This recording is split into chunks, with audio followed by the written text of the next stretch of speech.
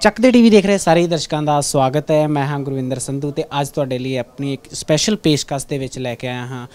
ਅੰਮ੍ਰਿਤਸਰ ਤੋਂ ਇੱਕ ਇੱਕ ਐਸਾ ਪ੍ਰੋਗਰਾਮ ਜਿਹੜਾ ਕਿ ਪੰਜਾਬ ਦੀ ਜਿਹੜੀ ਧਰਤੀ ਹੈ, ਉਸ ਦੇ ਉੱਤੇ ਜਿਹੜਾ ਕਾਲਾ ਦੌਰ ਸੀਗਾ 1984 ਦਾ। ਉਸ ਵੇਲੇ ਜੋ ਵੀ ਘਟਨਾ ਵਾਪਰੀ ਤੇ ਸਿੱਖ ਜ- ਸੰਗਤਾਂ ਵੱਲੋਂ ਜਿਸ ਤਰੀਕੇ ਦੇ ਨਾਲ ਜਿਹੜਾ ਉਹਨਾਂ ਦੇ ਉੱਤੇ ਦੌਰ ਰਿਹਾ ਉਸ ਦੇ ਉਸ ਦੀ ਪੂਰੀ ਕਹਾਣੀ ਨੂੰ ਜਿਹੜਾ ਅੱਖੀਂ ਵੇਖਿਆ ਉਹ ਬਿਆਨ ਕਰ ਰਹੇ ਨੇ। ਸਾਡੇ ਨਾਲ ਨੇ ਬਾਬਾ ਗੁਰਜਿੰਦਰ ਸਿੰਘ ਜੀ। ਪਹਿਲਾਂ ਤੇ ਬਾਬਾ ਗੁਰਜਿੰਦਰ ਸਿੰਘ ਨੂੰ ਫਤਿਹ ਬੁਲਾਣੇ ਬਾਬਾ ਜੀ ਵਾਹਿਗੁਰੂ ਜੀ ਕਾ ਖਾਲਸਾ ਵਾਹਿਗੁਰੂ ਜੀ ਕੀ ਫਤਿਹ। ਵਾਹਿਗੁਰੂ ਜੀ ਕੀ ਫਤਿਹ ਜੀ। ਬਾਬਾ ਜੀ ਤੋਂ ਅਸੀਂ ਜਾਣਕਾਰੀ ਲਵਾਂਗੇ। ਉਸ ਤੋਂ ਪਹਿਲਾਂ ਥੋੜਾ ਜਿਹਾ ਬਾਬਾ ਜੀ ਦਾ ਇੰਟਰੋਡਕਸ਼ਨ ਲੈਣੇ ਬਾਬਾ ਜੀ ਥੋੜਾ ਜਿਹਾ ਆਪਦੇ ਬਾਰੇ ਦੱਸੋ ਸਾਨੂੰ। ਜੀ ਦਾਸ ਦਾ ਨਾਮ ਖਾਸ ਜੋ ਸੰਗਤਾਂ ਜਾਣਦੀਆਂ ਨੇ ਜਿਸ ਨਾਮ ਦੇ ਨਾਲ ਉਹ ਮੈਨੂੰ ਡਾਕਟਰ ਗੁਰਜਿੰਦਰ ਸਿੰਘ ਕਹਿੰਦੇ ਨੇ। ਔਰ ਸੰਪਰਦਾਵਾਂ ਦੇ ਵਿੱਚ ਬਾਬਾ ਗੁਰਜਿੰਦਰ ਸਿੰਘ ਦੇ ਨਾਂ ਤੇ ਜਾਣਿਆ ਜਾਂਦਾ ਹੈ। ਸਿੱਖ ਯੂਥ ਫੈਡਰੇਸ਼ਨ ਭਿੰਡਰਾਂਵਾਲਾ ਦਾ ਮੈਂ ਕੌਮੀ ਪ੍ਰਧਾਨ ਆ ਅਤੇ ਨਾਲ ਹੀ ਸ਼੍ਰੋਮਣੀ ਅਕਾਲੀ ਦਲ ਅੰਮ੍ਰਿਤਸਰ ਮਾਨ ਸਾਹਿਬ ਦੀ ਪਾਰਟੀ ਦੇ ਨਾਲ ਅਸੀਂ ਰਲ ਮਿਲ ਕਰਕੇ ਸੇਵਾਵਾਂ ਨਿਭਾਉਣੇ ਆ ਤਰਨਤਾਰਨ ਹਲਕੇ ਦੀ ਜਿਹੜੀ ਉਹ ਮਾਨ ਸਾਹਿਬ ਦੀ ਪਾਰਟੀ ਵੱਲੋਂ ਜ਼ਿੰਮੇਵਾਰੀ ਵੀ ਮੇਰੇ ਕੋਲ ਆ। 2017 ਦੇ ਵਿੱਚ ਜਿਹੜੀਆਂ ਵਿਧਾਨ ਸਭਾ ਦੀਆਂ ਇਲੈਕਸ਼ਨਾਂ ਹੋਈਆਂ ਸਨ, ਉਹਦੇ ਵਿੱਚ ਸ਼੍ਰੋਮਣੀ ਅਕਾਲੀ ਦਲ ਅੰਮ੍ਰਿਤਸਰ ਵੱਲੋਂ ਮੈਨੂੰ ਪਾਰਟੀ ਦੀ ਟਿਕਟ ਦੇ ਕਰ ਵੀ ਨਵਾਜਿਆ ਗਿਆ ਸੀਗਾ। ਤੇ ਪ੍ਰੋਪਰ ਤੌਰ ਤੇ ਮੈਂ ਤਰਨਤਾਰਨ ਮੇਰੀ ਸਿਟੀ ਦੇ ਵਿੱਚ ਰਹਿਸ਼ ਆ। ਇੱਥੇ ਪੰਜਾਬ ਦੇ ਹਾਲਾਤਾਂ ਤੋਂ ਪੰਜਾਬ ਦੇ ਧਰਤੀ ਤੇ ਰਹਿ ਕਰਕੇ ਜਿਹੜੀ ਆਜ਼ਾਦੀ ਦੀ ਜੰਗ ਆ ਉਹਨੂੰ ਅਸੀਂ ਜਾਰੀ ਰੱਖ ਰਹੇ ਹਾਂ। ਬਾਬਾ ਜੀ ਇਹ ਸੀ ਤੁਹਾਡਾ ਇੰਟਰੋਡਕਸ਼ਨ ਹੁਣ ਅਗਰ ਗੱਲ ਕਰੀਏ 1984 ਦੇ ਉਸ ਸਾਕੇ ਦੀ ਉਸ ਤੋਂ ਪਹਿਲਾਂ ਜਿਹੜੀ ਸਿਚੁਏਸ਼ਨ ਸੀਗੀ ਥੋੜਾ ਜਿਹਾ ਸਾਨੂੰ ਉੱਤੇ ਉਹਦੇ ਬਾਰੇ ਥੋੜਾ ਜਿਹਾ ਸਾਨੂੰ ਦੱਸੋ। 1984 ਤੋਂ ਪਹਿਲਾਂ ਦੇ ਜਿਹੜੇ ਹਾਲਾਤ ਨੇ ਉਹ ਬਹੁਤ ਦਰਦਨਾਕ ਹਾਲਾਤ ਸਨ ਸਿੱਖਾਂ ਵਾਸਤੇ ਖਾਸ ਕਰਕੇ। ਕਿਉਂ ਕਰਕੇ ਹਿੰਦ ਹਕੂਮਤ ਹਰ ਤਰ੍ਹਾਂ ਦੇ ਨਾਲ ਸਿੱਖਾਂ ਨੂੰ ਦਬਾਉਣ ਵਾਸਤੇ ਸਿੱਖ ਨੌਜਵਾਨੀ ਨੂੰ ਆਪਣਾ ਨਿਸ਼ਾਨਾ ਬਣਾ ਰਹੀ ਸੀਗੀ। ਸਿੱਖਾਂ ਦੇ ਧਰਮ ਸਥਾਨਾਂ ਦੇ ਵਿੱਚ ਗਊ ਦਾ ਮਾਸ, ਤੰਬਾਕੂ ਦੀਆਂ ਪੁੜੀਆਂ, ਬੀੜੀਆਂ ਅਤੇ ਆਦਿਕ ਸੁੱਟ ਦਿੱਤੀਆਂ ਜਾਂਦੀਆਂ ਸਨ। ਸਿੱਖ ਨੌਜਵਾਨੀ ਨੂੰ ਉਕਸਾਉਣ ਵਾਸਤੇ, ਉਹਨਾਂ ਨੂੰ ਚੜਾਉਣ ਵਾਸਤੇ ਜਾਂ ਸਾਡੀ ਧਾਰਮਿਕ ਮਰਜ਼ਾਦਾ ਨੂੰ ਠੇਸ ਪਹੁੰਚਾਉਣ ਵਾਸਤੇ। ਇਹ ਇਹ ਬਹੁਤ ਕੁਝ ਜਿਹੜਾ ਪਹਿਲਾਂ ਹੁੰਦਾ ਰਿਹਾ। ਜੇਕਰ ਆਪਾਂ ਬਹੁਤ ਜ਼ਿਆਦਾ ਪਿੱਛੇ ਨਾ ਜਾਈਏ ਤੇ 1978 ਦੇ ਵਿੱਚ ਜਦੋਂ ਨਿਰੰਕਾਰੀ ਕਾਂਡ ਵਾਪਰਿਆ ਹੈ ਉਸ ਸਮੇਂ ਸੰਤ ਗਿਆਨੀ ਜਰਨੈਲ ਸਿੰਘ ਖਾਲਸਾ ਪਿੰਡਰਾਂ ਵਾਲੇ ਜਿਹੜੇ ਸੀਗੇ ਉਹ ਇੱਕ ਸਾਲ ਪਹਿਲਾਂ ਹੀ ਦਮਦਮੀ ਟਕਸਾਲ ਦੇ ਮੁਖੀ ਬਣੇ ਸਨ 1977 ਦੇ ਵਿੱਚ। ਸੋ ਅ, ਮਹਾਂਪੁਰਖਾਂ ਨੇ ਬੜੇ ਸੁਚੱਜੇ ਢੰਗ ਦੇ ਨਾਲ ਅਖੰਡ ਕੀਰਤਨੀ ਜਥੇ ਦੇ ਜਿਹੜੇ ਮੁਖੀ ਸਨ ਉਹਨਾਂ ਦੇ ਨਾਲ ਸਲਾਹ مشਵਰਾ ਕੀਤਾ, ਭਾਈ ਫੌਜਾ ਸਿੰਘ ਜੀ ਦੇ ਨਾਲ। ਉਹਨਾਂ ਦੇ ਨਾਲ ਦਮਦਮੀ ਟਕਸਾਲ ਦੇ ਸਿੰਘ ਕੁਝ ਭੇਜਣਾ ਕੀਤੇ। ਬਾਬਾ ਗੁਰਬਚਨ ਸਿੰਘ ਜੀ ਮਾਨੋਚਾਲ ਜਿਹੜੇ ਪਿੰਡਰਾਂ ਵਾਲਾ ਟਾਈਗਰ ਫੋਰਸ ਦੇ ਮੁਖੀ ਹੋਏ ਨੇ ਅਤੇ ਅਕਾਲ ਤਖਤ ਸਾਹਿਬ ਦੇ ਜਥੇਦਾਰ ਵੀ ਬਾਬਾ ਗੁਰਬਚਨ ਸਿੰਘ ਜੀ ਜਿਹੜੇ ਉਹ ਹੋਏ ਨੇ। ਉਹਨਾਂ ਉਹਨਾਂ ਨੇ ਵੀ ਉਸ ਜਥੇ ਦੇ ਵਿੱਚ ਸੇਵਾ ਕੀਤੀ ਜਿਹੜੇ ਨਿਰੰਕਾਰੀਆਂ ਨੂੰ ਰੋਕਣ ਗਿਆ ਸੀਗਾ 1978 ਦੇ ਵਿੱਚ। ਸੋ ਜਿਹੜਾ ਇਹ ਜਥਾ ਰੋਕਣ, ਪ੍ਰੋਗਰਾਮ ਨੂੰ ਰੋਕਣ ਵਾਸਤੇ ਗਿਆ ਸੀਗਾ, ਉਹ ਇੱਕ ਬਹੁਤ ਵਧੀਆ ਤਰੀਕੇ ਦੇ ਨਾਲ ਮਹਾਂਪੁਰਖਾਂ ਵੱਲੋਂ ਜਥੇ ਨੂੰ ਸੁਝਾਅ ਦੇ ਕਰਕੇ ਭੇਜੇ ਗਏ ਸੀਗੇ ਕਿ ਤੁਸੀਂ ਅਗਲੀ ਧਿਰ ਜਿੰਨਾ ਵੀ ਕੁਝ ਮਰਜ਼ੀ ਕਰਦੀ ਆ, ਤੁਸੀਂ ਬੜੇ ਸ਼ਾਂਤਮਈ ਤਰੀਕੇ ਦੇ ਨਾਲ ਇਸ ਕੂੜ ਪ੍ਰਚਾਰ ਦਾ ਵਿਰੋਧ ਕਰਨਾ ਹੈ। ਜਿਹੜੇ ਨਿਰੰਕਾਰੀ ਇਸ ਪੰਜਾਬ ਦੀ ਧਰਤੀ ਦੇ ਉੱਪਰ ਆ ਕਰਕੇ ਆਏ ਦਿਨ ਗੁਰੂਆਂ ਦੇ ਉੱਪਰ ਟੀਕਾ ਟਿੱਪਣੀ ਕਰਦੇ ਸਨ ਸਿੱਖ ਸੰਪਰਦਾਵਾਂ ਦੇ ਉੱਪਰ ਟੀਕਾ ਟਿੱਪਣੀ ਕਰਦੇ ਸਨ, ਸੰਤ ਗਿਆਨੀ ਜਰਨੈਲ ਸਿੰਘ ਜੀ ਦੇ ਉੱਪਰ ਟੀਕਾ ਟਿੱਪਣੀ ਕਰਦੇ ਸਨ, ਜਾਂ ਸਾਡੇ ਜਿਹੜੇ ਨੌਜਵਾਨ ਸਨ, ਸਿੱਖ ਜਵਾਨੀ, ਜਾਂ ਜਿਹੜੇ ਸਿੱਖੀ ਨੂੰ ਪਿਆਰ ਕਰਦੇ ਸਨ ਉਹਨਾਂ ਦੇ ਉੱਪਰ ਉਹ ਟੀਕਾ ਟਿੱਪਣੀ ਕਰਦੇ ਸਨ। ਸਾਡੇ ਗੁਰਸਤਾਂਤ ਦੇ ਉੱਪਰ ਟੀਕਾ ਟਿੱਪਣੀ ਕਰਦੇ ਸੀਗੇ, ਗੁਰਮਰਜ਼ਾਦਾ ਦੇ ਉੱਪਰ ਟੀਕਾ ਟਿੱਪਣੀ ਕਰਦੇ ਸੀਗੇ। ਇਹ ਕਾਫੀ ਐਸੇ ਇਸ਼ੂ ਸਨ, ਜਿਨ੍ਹਾਂ ਨੂੰ ਉਸ ਸਮੇਂ ਹਿੰਦ ਹਕੂਮਤ ਨੇ ਨਿਰੰਕਾਰੀਆਂ ਦੇ ਰੂਪ ਦੇ ਵਿੱਚ ਜਿਹੜਾ ਸੀਗਾ, ਉਹ ਇੱਕ ਆਪਣੀ ਧਿਰ ਅੱਗੇ ਲੈ ਕਰਕੇ ਆਏ ਸੀਗੇ ਕਿ ਇਹ ਇਹ ਜਿਹੜੀ ਧਿਰ ਸੀਗੀ ਨਿਰੰਕਾਰੀਆਂ ਦੇ ਰੂਪ ਦੇ ਵਿੱਚ, ਉਹ ਸਿੱਖਾਂ ਦੇ ਨਾਲ ਟਕਰਾਅ ਦੇ ਵਿੱਚ ਉਹਨਾਂ ਨੇ ਤਿਆਰ ਕੀਤੀ ਸੀ। ਸੋ ਇਹ ਜਿਹੜਾ ਪਹਿਲਾਂ ਦਾ ਮਾਹੌਲ ਸੀਗਾ 1978 ਦਾ, ਉਹ ਇਹਨਾਂ ਹਾਲਾਤਾਂ ਨੂੰ ਹੀ ਬਿਆਨ ਕਰਦਾ ਸੀਗਾ ਕਿ ਹਿੰਦ ਹਕੂਮਤ ਵੱਲੋਂ ਹਿੰਦ ਹਕੂਮਤ ਦੀ ਮਹਾਰਾਣੀ ਇੰਦਰਾ ਗਾਂਧੀ ਵੱਲੋਂ ਜਿਹੜੀ ਦੇਸ਼ ਦੀ ਉਸ ਸਮੇਂ ਪ੍ਰਧਾਨ ਮੰਤਰੀ ਸੀ, ਉਹਨਾਂ ਵੱਲੋਂ ਇੱਕ ਮਾਹੌਲ ਤਿਆਰ ਕੀਤਾ ਜਾ ਰਿਹਾ ਸੀਗਾ। ਉਹਨਾਂ ਦੀਆਂ ਸਹਿਯੋਗੀ ਪਾਰਟੀਆਂ ਜਿਹੜੀਆਂ ਭਾਵੇਂ ਭਾਜਪਾ ਹੋਣ ਜਾਂ ਹਿੰਦੂਤਵ ਦੇ ਨਾਲ ਰਿਲੇਟਡ ਕੋਈ ਵੀ ਪਾਰਟੀ ਹੋਵੇ, ਉਹ ਸਾਰੀਆਂ ਦਾ ਏਜੰਡਾ ਇੱਕ ਸੀਗਾ। ਸਾਰੀਆਂ ਦਾ ਇੱਕ ਹੀ ਏਜੰਡੇ ਦੇ ਮੁਤਾਬਕ ਜਿਹੜਾ ਇਹ ਸਾਰਾ ਮਾਹੌਲ ਤਿਆਰ ਕੀਤਾ ਜਾ ਰਿਹਾ ਸੀਗਾ ਪੰਜਾਬ ਦੇ ਵਿੱਚ। ਸੰਤ ਗਿਆਨੀ ਜਰਨੈਲ ਸਿੰਘ ਜੀ ਦੀ ਦਿਨੋਂ ਦਿਨ ਵੱਧ ਰਹੀ ਲੋਕਪ੍ਰਿਯਤਾ ਨੂੰ ਰੋਕਣ ਵਾਸਤੇ, ਉਹਨਾਂ ਦਾ ਦਿਨੋਂ ਦਿਨ ਸਿੱਖ ਜਥੇਬੰਦੀਆਂ ਦੇ ਵਿੱਚ ਵੱਧ ਰਹੇ ਸਿੱਖ ਆਗੂ ਦੇ ਅਕਸ਼ ਨੂੰ ਢਾਹ ਲਾਉਣ ਵਾਸਤੇ ਵੀ ਬੜੀਆਂ ਜ਼ਿਆਦੀਆਂ ਜਿਹੜੀਆਂ ਸਾਜ਼ਿਸ਼ਾਂ ਰਚੀਆਂ ਗਈਆਂ। ਸੋ ਇਹਨਾਂ ਸਾਰੀਆਂ ਘਟਨਾਵਾਂ ਨੂੰ ਜੇਕਰ ਮੱਦੇ ਨਜ਼ਰ ਰੱਖੀਏ ਤੇ ਇਹਨਾਂ ਸਾਰੀਆਂ ਘਟਨਾਵਾਂ ਦੇ ਵਿੱਚੋਂ 1978 ਦਾ ਸਾਕਾ ਨਿਕਲਦਾ ਹੈ। ਜਿਹਦੇ ਵਿੱਚ ਭੂਤਰੇ ਹੋਏ ਨਿਰੰਕਾਰੀਆਂ ਨੇ ਸਾਡੇ ਸਿੱਖ ਯੋਧਿਆਂ ਦੇ ਉੱਪਰ ਗੋਲੀਆਂ ਚਲਾ ਕਰਕੇ ਸਾਡੇ 13 ਸਿੰਘ ਸ਼ਹੀਦ ਕੀਤੇ। ਉਸ ਤੋਂ ਬਾਅਦ ਜਿਹੜੇ ਦਿਨ ਪ- ਪ੍ਰਤੀ ਦਿਨ ਹਾਲਾਤ ਜਿਹੜੇ ਵਿਗੜਦੇ ਗਏ ਤੇ ਉਸ ਤੋਂ ਉਪਰੰਤ ਜਿਹੜਾ ਸਾਡੇ ਨੌਜਵਾਨਾਂ ਨੇ ਫਿਰ ਜੁਝਾਰੂ ਜਿਹੜੀਆਂ ਮਸ਼ਕਾਂ ਸੀਗੀਆਂ ਉਹ ਤਿਆਰ ਕੀਤੀਆਂ ਅਤੇ ਆਪਣਾ ਮਰਜੀਵੜਾ ਜਿਹੜਾ ਜੋਸ਼ੀਲਾ ਜੁੱਸਾ ਸੀਗਾ, ਜੋ ਸਾਨੂੰ ਗੁਰੂ ਸਾਹਿਬ ਨੇ, ਕਲਗੀਧਰ ਪਾਤਸ਼ਾਹ ਮਹਾਰਾਜ ਜੀ ਨੇ ਸਾਨੂੰ ਇੱਕ ਸਿਧਾਂਤ ਦਿੱਤਾ ਹੈ ਕਿ ਸਿੱਖ ਪਹਿਲਾਂ ਕਿਸੇ ਤੇ ਵਾਰ ਕਰਦਾ ਨਹੀਂ, ਜੇ ਕੋਈ ਵਾਰ ਕਰਦਾ ਹੈ ਚੜ੍ਹਾਈ ਕਰਕੇ ਆਉਂਦਾ ਵਾ ਤਾਂ ਉਹਨੂੰ ਫਿਰ ਬਖਸ਼ਦਾ ਵੀ ਨਹੀਂ। ਗੁਰੂ ਤੇਗ ਬਹਾਦਰ ਪਾਤਸ਼ਾਹ ਮਹਾਰਾਜ ਜੀ ਦੀ ਪਵਿੱਤਰ ਬਾਣੀ ਦਾ ਫਰਮਾਨ ਹੈ ਭੈ ਕਾਹੂ ਕੋ ਦੇਤ ਨਾ ਹੈ ਨਾ ਹੈ ਭੈ ਮਾਨਤ ਆਣ। ਸਿੱਖ ਨਾ ਤਾਂ ਕਿਸੇ ਨੂੰ ਡਰਾਉਂਦਾ ਆ ਤੇ ਨਾ ਹੀ ਕਿਸੇ ਕੋਲੋਂ ਡਰਦਾ ਆ। ਸੋ ਇਹ ਸਾਰੇ ਉਸ ਸਮੇਂ ਦੇ ਹਾਲਾਤ ਸਨ ਜਿਨ੍ਹਾਂ ਦੇ ਵਿੱਚੋਂ ਜੂਨ 1984 ਦਾ ਕੱਲੂ ਘਰਾ ਨਿਕਲਿਆ।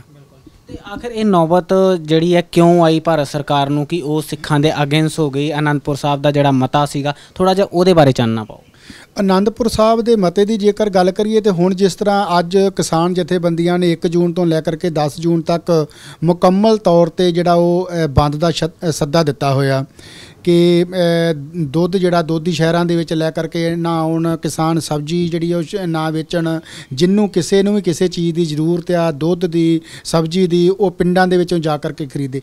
ਇਹੀ ਚੀਜ਼ਾਂ ਜਿਹੜੀਆਂ ਸੀਗੀਆਂ, ਉਹ ਆਨੰਦਪੁਰ ਸਾਹਿਬ ਦੇ ਮਤੇ ਦੇ ਵਿੱਚ ਸੀਗੀਆਂ, ਜਿਹੜੀਆਂ ਅੱਜ ਕਿਸੇ ਨਾ ਕਿਸੇ ਤਰੀਕੇ ਦੇ ਨਾਲ ਲਾਗੂ ਹੋ ਰਹੀਆਂ। ਪੰਜਾਬ ਨੂੰ ਵੱਧ ਅਧਿਕਾਰਾਂ ਦੀ ਗੱਲ ਕੀਤੀ ਸੀ, ਗਈ ਸੀਗੀ। ਉਹਦੇ ਵਿੱਚ ਬਹੁਤ ਵਧੀਆ ਵਧੀਆ ਅਧਿਕਾਰ ਜਾਂ ਸਾਡੀ ਖੁਦ ਮੁਖਤਿਆਰੀ ਦੀ ਗੱਲ ਕੀਤੀ ਸੀ, ਗਈ ਸੀ।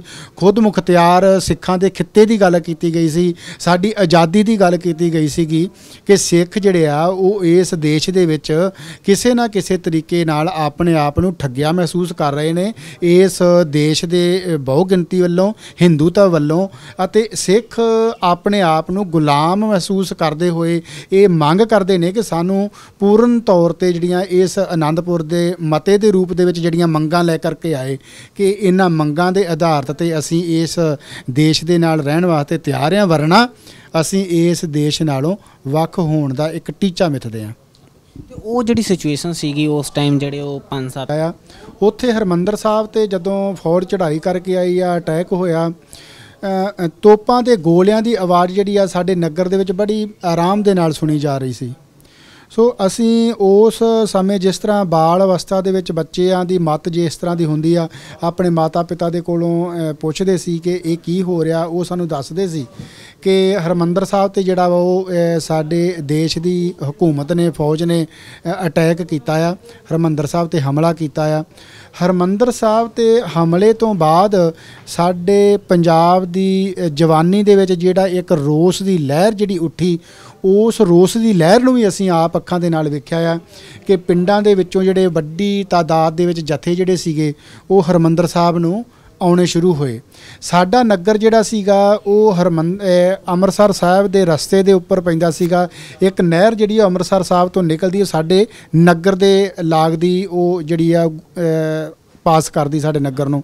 ਸੋ ਉਸ ਨਹਿਰ ਦੇ ਨਹਿਰੇ ਨਹਿਰ ਜਿਹੜੇ ਜਥੇ ਜਾਂਦੇ ਸੀਗੇ, ਅਸੀਂ ਆਪ, ਸਾਨੂੰ ਯਾਦ ਹੈ ਚੰਗੀ ਤਰ੍ਹਾਂ ਕਿ ਅਸੀਂ ਆਪਣੇ ਪਿੰਡ ਵੱਲੋਂ ਉੱਥੇ ਨਹਿਰ ਦੇ ਉੱਪਰ ਇੱਕ ਲੰਗਰ ਲਾਇਆ ਸੀਗਾ ਸਾਡੇ ਨਗਰ ਨਿਵਾਸੀਆਂ ਨੇ। ਅਸੀਂ ਛੋਟੇ ਛੋਟੇ ਬੱਚੇ ਜਿਹੜੇ ਉਸ ਲੰਗਰ ਦੇ ਵਿੱਚ ਵੀ ਸੇਵਾ ਕਰਦੇ ਰਹੇ।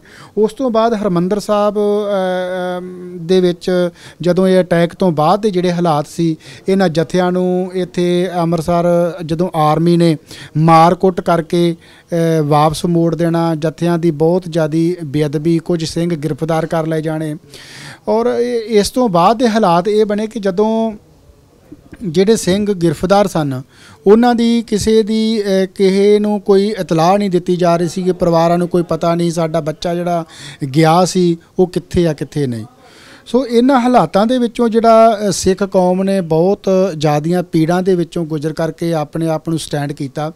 ਸੋ ਜਦੋਂ ਮੈਨੂੰ ਯਾਦ ਆ ਕਿ ਬਾਬਾ ਠਾਕੁਰ ਸਿੰਘ ਜੀ ਨੇ ਦਮਦਮੀ ਟਕਸਾਲ ਦੇ ਜਿਹੜੇ ਕਾਰਜਕਾਰੀ ਮੁਖੀ ਸਨ 15ਵੇਂ ਸੰਤ ਗਿਆਨੀ ਜਰਨੈਲ ਸਿੰਘ ਜੀ ਖਾਲਸਾ ਭਿੰਡਰਾਂ ਵਾਲਿਆਂ ਤੋਂ ਬਾਅਦ ਉਹਨਾਂ ਦੀ ਗੈਰ ਹਾਜ਼ਰੀ ਦੇ ਵਿੱਚ, ਉਹਨਾਂ ਨੇ ਅਕਾਲ ਤਖਤ ਸਾਹਿਬ ਦੀ ਜਦੋਂ ਸੇਵਾ ਕਰਵਾਈ ਆ ਪ- ਸਭ ਤੋਂ ਪਹਿਲਾਂ ਜਿਹੜੀ ਇਹ ਹਿੰਦ ਹਕੂਮਤ ਨੇ ਅਕਾਲ ਤਖਤ ਸਾਹਿਬ ਦੀ ਸੇਵਾ ਕਰਵਾਈ ਸੀਗੀ ਬਾਬਾ ਸੰਤਾ ਸਿੰਘ ਜੀ ਦੇ ਕੋਲੋਂ।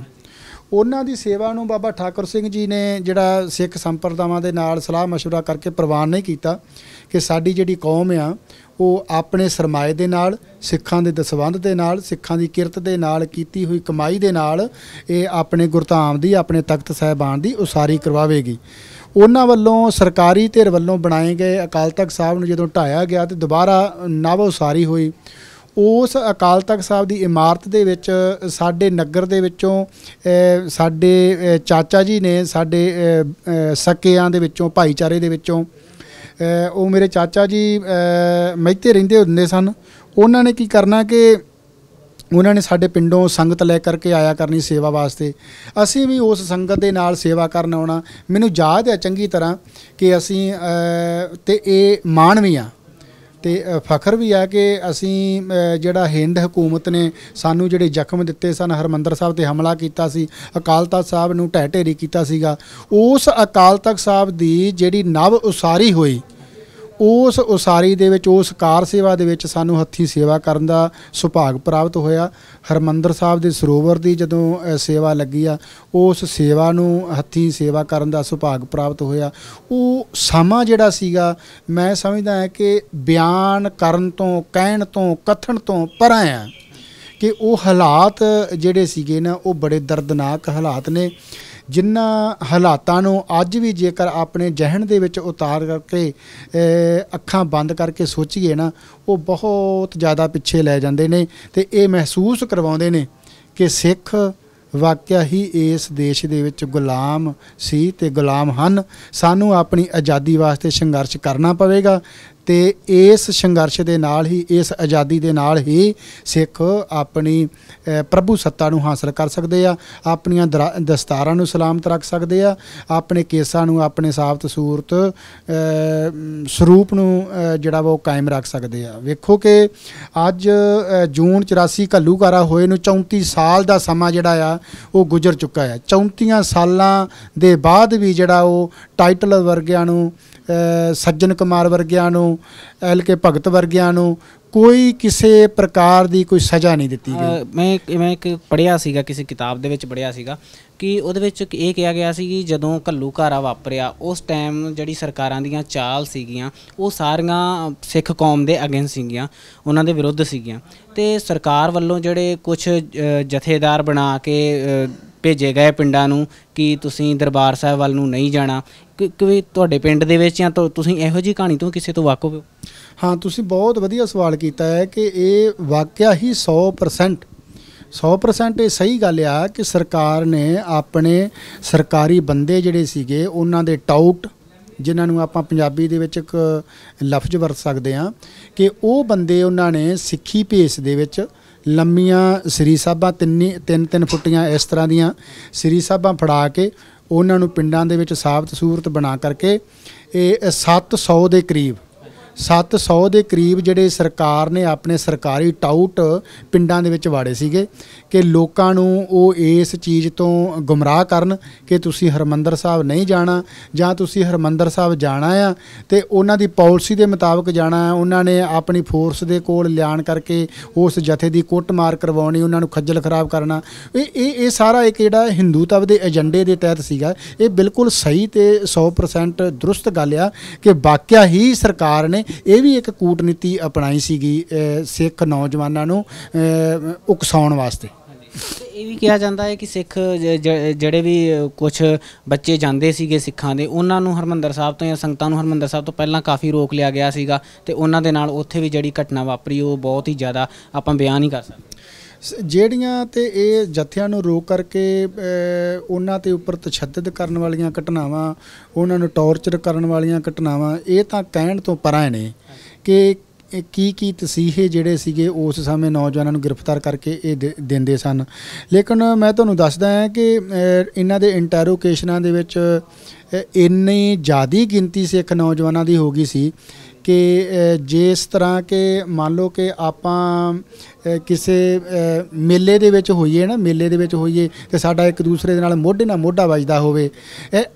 ਇਸ ਤਰ੍ਹਾਂ ਇੰਨੀ ਗਿਣਤੀ ਦੇ ਵਿੱਚ ਸਿੱਖ ਨੌਜਵਾਨ ਜਿਹੜੇ ਇਹਨਾਂ ਨੇ ਗ੍ਰਿਫਤਾਰ ਕਰ ਲਏ, ਇਹਨਾਂ ਦੇ ਥਾਣੇ ਇੰਟਰੋਗੇਸ਼ਨਾਂ ਸੀਏ ਸਟਾਫ, ਸਾਰੇ ਭਰੇ ਪਏ ਸਨ, ਤਸੀਹੇ ਕਰ ਸੋ ਸਿੱਖ ਨੌਜਵਾਨਾਂ ਦੇ ਉੱਤੇ ਇਹਨਾਂ ਨੇ ਸੇ- ਹਿੰਦ ਹਕੂਮਤ ਨੇ ਇੰਨੀ ਜ਼ਿਆਦੀ ਨੀਚਤਾ ਦੇ ਨਾਲ ਜਿਹੜਾ ਟੌਰਚਰ ਕੀਤਾ ਕਿ ਸਿੱਖਾਂ ਦੇ ਕੇਸਾਂ ਦੀ ਬੇਅਦਬੀ ਵੀ ਇਹਨਾਂ ਨੇ ਕੀਤੀ, ਭਾਵੇਂ ਕਿ ਉਹ ਤਮਾਕੂ ਦੀਆਂ ਪੁੜੀਆਂ ਰੋ- ਸੁੱਟ ਕਰਕੇ ਉਹਨਾਂ ਦੇ ਕੇਸਾਂ 'ਚ ਪਾ ਕੇ ਭਾਵੇਂ ਸ਼ਰਾਬ ਪਾ ਕੇ ਭਾਵੇਂ ਅ, ਬੀੜੀਆਂ ਉਹਨਾਂ ਦੇ ਮੂੰਹ ਨੂੰ ਲਾ ਕਰਕੇ ਭਾਵੇਂ ਕਿ ਉਹਨਾਂ ਨੂੰ ਤਸੀਹੇ ਦਿੰਦਿਆਂ ਇਹਨਾਂ ਨੇ ਨੀਚਤਾ ਦੀ ਹੱਦ ਨੂੰ ਪਾਰ ਕਰਦਿਆਂ ਉਹਨਾਂ ਦੇ ਹੱਥਾਂ ਪੈਰਾਂ ਦੇ ਨਹੁੰ ਖਿੱਚ ਦਿੱਤੇ ਗਏ। ਅ, ਇੰਨੇ ਇੰਨਾ ਕੁਝ ਹੋਣ ਦੇ ਬਾਵਜੂਦ ਵੀ ਸਿੱਖ ਨੌਜਵਾਨਾਂ ਨੂੰ 5-5 ਸਾਲ 7-7 ਸਾਲ ਜਿਹੜਾ ਉਹ ਲੰਬੀਆਂ ਸਜ਼ਾਵਾਂ ਜੇਲ੍ਹਾਂ ਦੇ ਵਿੱਚ ਕੱਟਣੀਆਂ ਪਈਆਂ ਫਿਰ ਜਾ ਕਰਕੇ ਉਹ ਨੌਜਵਾਨ ਜਿਹੜੇ ਆਪਣੇ ਪਰਿਵਾਰਾਂ ਦੇ ਵਿੱਚ ਵਾਪਸ ਆਏ। ਇਹ ਤੇ ਨ- ਕੱਲੂ ਘਾਰੇ ਦੀ ਗੱਲ ਹੋ ਗਈ। ਹੁਣ ਉਸ ਤੋਂ ਬਾਅਦ ਦੀ ਜਿਹੜੀ ਘਟਨਾ ਸੀਗੀ ਇੰਦਰਾ ਗਾਂਧੀ ਦੇ ਜਿਹੜਾ ਮਰਡਰ ਦੀ ਗੱਲ ਹੋਈ। ਹਨਾ ਇੰਦਰਾ ਗਾਂਧੀ ਤੇ ਮਰਡਰ ਦੀ ਤੇ ਉਸ ਤੋਂ ਬਾਅਦ ਜਿਹੜਾ ਸਿੱਖਾਂ ਦੇ ਉੱਤੇ ਬੀਤੀ ਦਿੱਲੀ ਦੇ ਵਿੱਚ ਤੇ ਹੋਰ ਵੀ ਜਿਹੜੇ ਸਿੱਖ ਸੀਗੇ ਪੰਜਾਬ ਜਾਂ ਪੰਜਾਬ ਤੋਂ ਬਾਹਰ ਉਹਦੇ ਬਾਰੇ ਤੁਸੀਂ ਦੱਸੋ ਜਦੋਂ ਇੰਦਰਾ ਗਾਂਧੀ ਦਾ ਕਤਲ ਹੋਇਆ ਨਾ ਦਿੱਲੀ ਦੇ ਵਿੱਚ ਅ, 31 ਅਕਤੂਬਰ ਨੂੰ ਉਸ ਤੋਂ ਬਾਅਦ ਦਿੱਲੀ ਦੇ ਵਿੱਚ ਜਿਹੜੇ ਸਿੱਖਾਂ ਦੇ ਉੱਪਰ ਹਮਲੇ ਸ਼ੁਰੂ ਹੋਏ। ਜਿਹੜਾ ਕਿ ਹਿੰਦ ਹਕੂਮਤ ਵੱਲੋਂ ਦੰਗਿਆਂ ਦਾ ਨਾਮ ਦਿੱਤਾ ਗਿਆ, ਜਦੋਂ ਕਿ ਉਹ ਦੰਗੇ ਨਹੀਂ ਸਨ।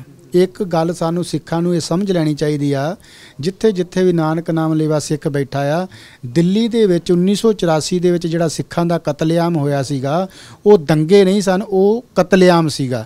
ਗਿਣ ਮਿੱਥ ਕੇ ਕਤਲੇਆਮ ਕੀਤਾ ਗਿਆ ਸੀਗਾ ਇੱਕ ਧਿਰ ਵੱਲੋਂ ਦੂਸਰੀ ਧਿਰ ਦਾ।